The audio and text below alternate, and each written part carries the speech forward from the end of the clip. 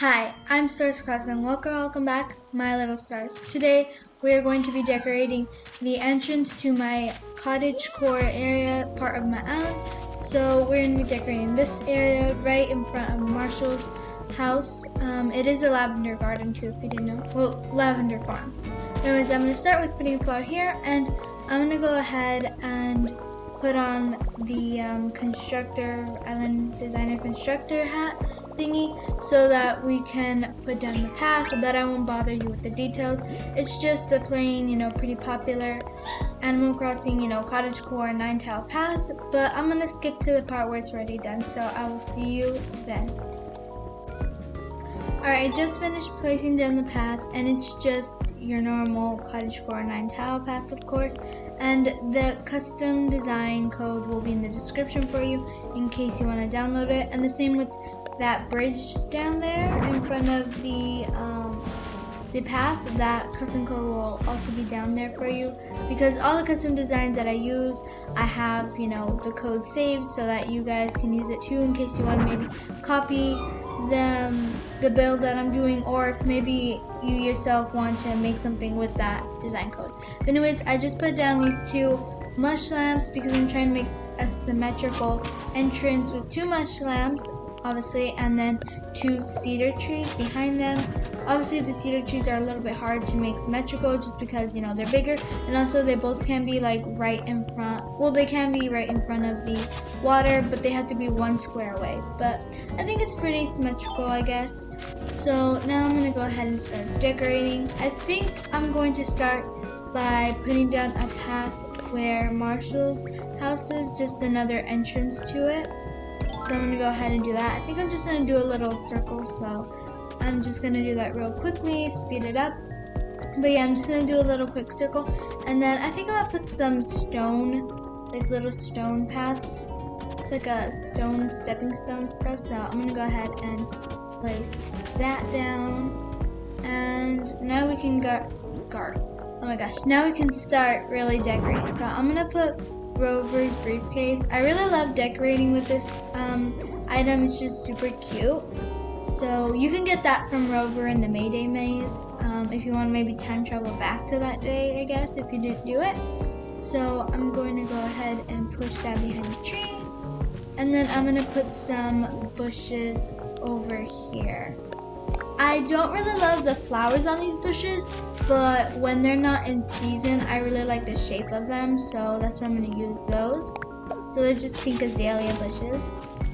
So now I'm to put a maple um, pond stone right here, just so that there can be stuff here and it's not so empty.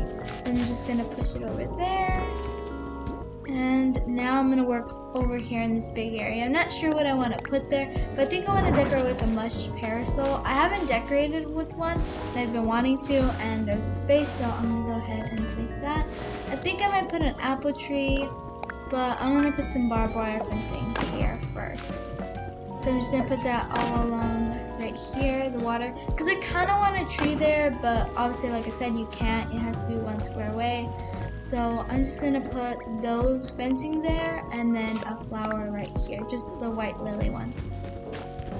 And then now I think I'm just gonna put some shrubs and flowers right here in front since I can't put a tree so close to the fencing. Well, at least I don't think. Because I don't want one in front, right in front of the mush parasol or else you can't see it. So I'm gonna put a shrub here. You know, first let me put the flower over here or else I um, won't be able to go back there. So I'm gonna put a flower here, probably the red pansy flower. You know, maybe a lily would look nicer because I already have a red pansy over there. And then now I'm gonna put the shrub. So I'll put the shrub right there. And then I'm gonna change this one with a red pansy because I have a white lily over there already. So I'm gonna change that with the red pansy. And there we go. So let's see, I think maybe I can pull this over here. Not so empty over here. And then I can put a apple tree right, no, right here. Yeah, right here. So I'm gonna go ahead and place that apple tree there.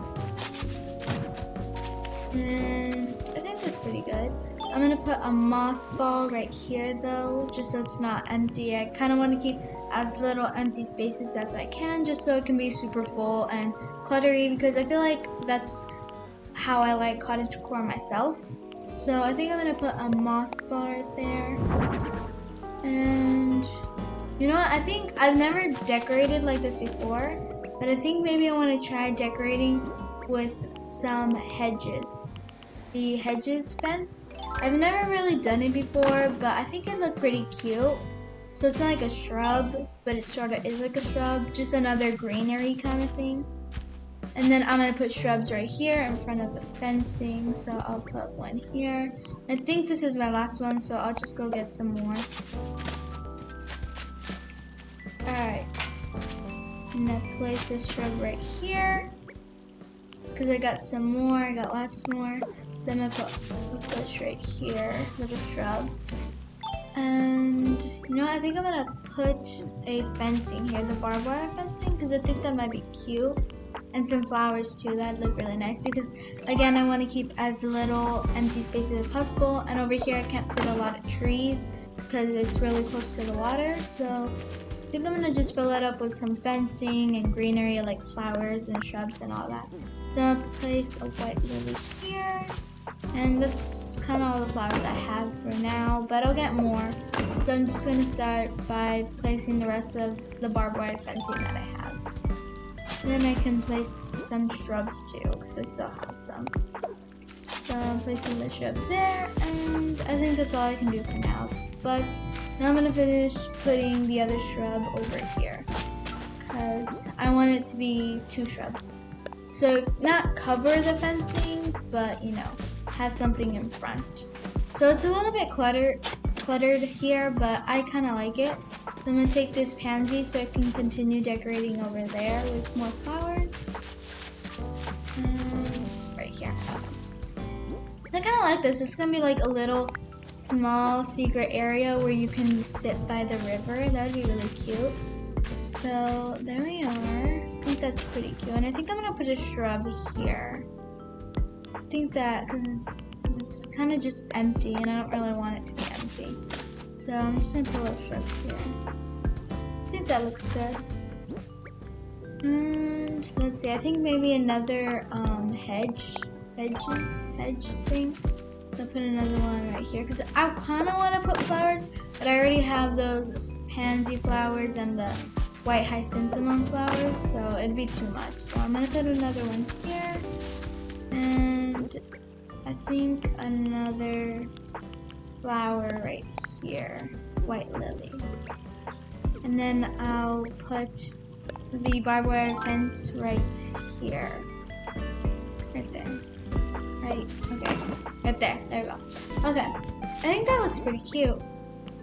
And now I think I'm gonna place some dropped pumpkins. I think that might be pretty cute, especially because the fall is coming soon in Animal Crossing. You can already see the grass is getting darker, so I think maybe some pumpkins would do. And usually people drops um, drop uh, mushrooms, but I think maybe these pumpkins would look pretty cute too. And then I'm gonna go ahead and place the same path, but of course I'm just gonna speed up to when I already have it done. So I'll see you then. Alright, I just finished placing down the last tile. So I think that's pretty cute too, that path. So this path is just gonna connect to the rest of the cottage core area, like to the cafe and all that. Obviously I'm not done. And I'm not gonna do it now just because it's supposed to be a little quick video for Monday, but I'm gonna put some flowers here. And I think I'll start a path over here, but I won't finish it. Just so I can finish it later once I know it's gonna be over there. So I'll see you when it's done. Alright, I just finished the path and now I'm done with the build. So I'm gonna go ahead and be right back so we can tour it. Okay, now that I've taken off my helmet, we can go ahead and start the tour. So here you come from the bridge from the city core area. Then you can come up here to maybe Marshall's house if you want to go visit him. Or you can come down here to the beach too. Obviously this beach isn't going to stay full of flowers just for now, but whatever I have there, you can go ahead and go down there. then you can come over here to the rest of the cottagecore area. Obviously, I don't know what's going to be there, but whatever's there, you can go ahead and go to. And if you want, you can even come down this little secret area so you can hang out by the river and all that. So that's pretty much it. It wasn't a very big or long build, but like I said, Monday's videos are always going to be like this. But but as always, my socials will be in the description. Please like, subscribe, comment. Thank you for watching, and I will see you in the next one. Bye!